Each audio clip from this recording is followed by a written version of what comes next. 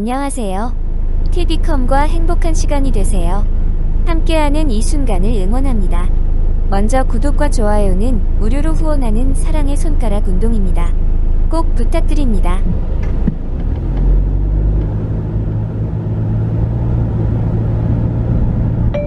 전방에 주정차 위반 단속 구간입니다.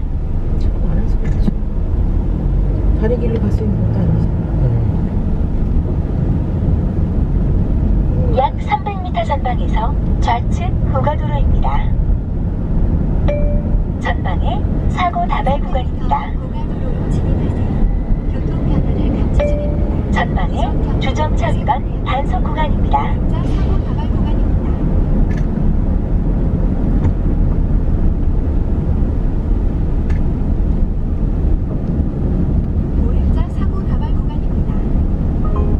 잠시 후 좌측 후가도로입니다. 왼쪽 차선을 이용하십시오. 어, 뭐야 저 시절도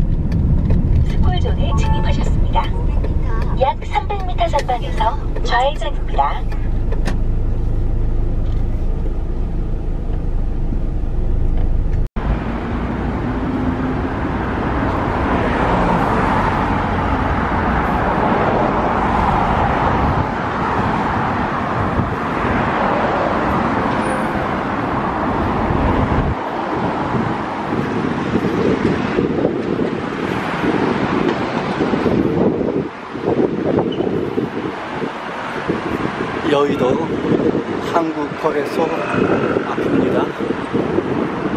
더 현대백화점이 앞에 보입니다.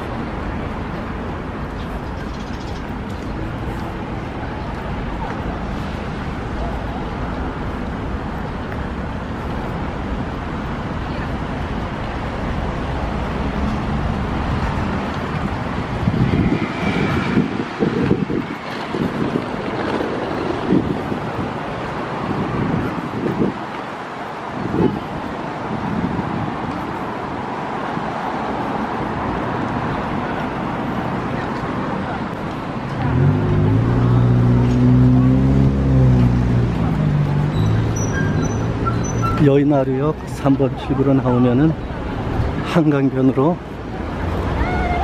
바로 나갈 수 있습니다.